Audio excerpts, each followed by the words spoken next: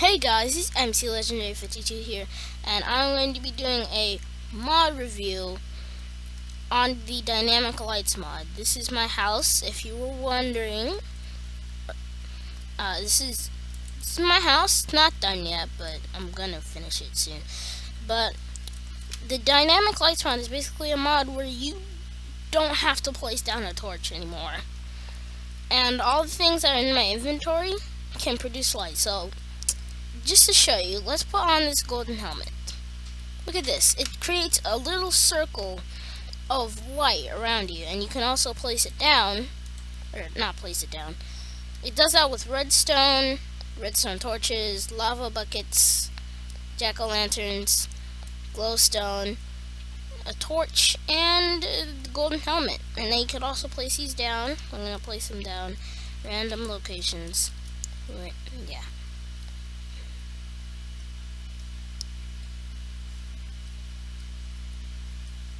Okay, over here and over here. So as you can see, let's go into survival, creative. What do I keep saying survival? Okay. They all create their own little pool of light. And let me just collect all of this. Make sure I don't lose anything. Because that would be very bad if I lost something. Redstone torch. One more thing over here. What is it? It is glowstone.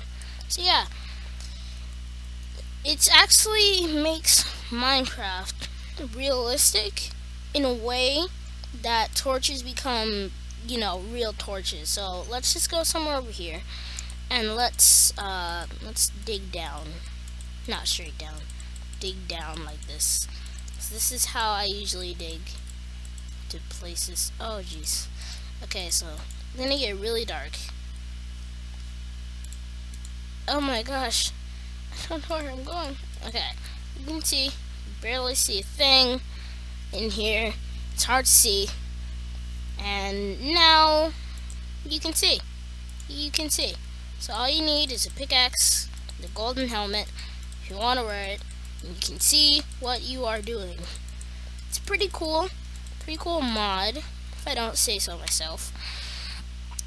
Um, so yeah, if, did like this video, like and subscribe for more mod reviews.